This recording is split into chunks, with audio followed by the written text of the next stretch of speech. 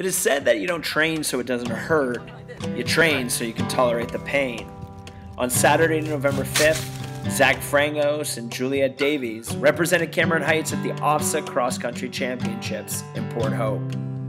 After hours of training, hundreds of kilometers, and a persistent desire to do their best, they towed the line of one of the biggest cross country events in Canada.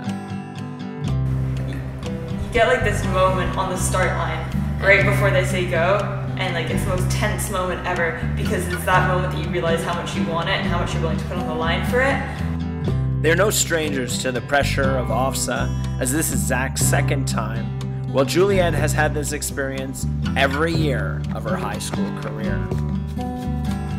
Uh, it's kind of an honor to be able to bring Cameron um, to, to OFSAA cross country uh, every four years.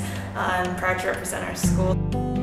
And represent Cameron Heights they did, both bringing their unwavering positivity, their fierce competitiveness, and commitment to team spirit. They're great athletes, so really representing us well. Under beautiful November skies, Zach finished 25th in senior boys, while Juliette finished 30th in senior girls. Both performances something for Cameron Heights to be proud of. That is why they are this week's Glorious Gaels.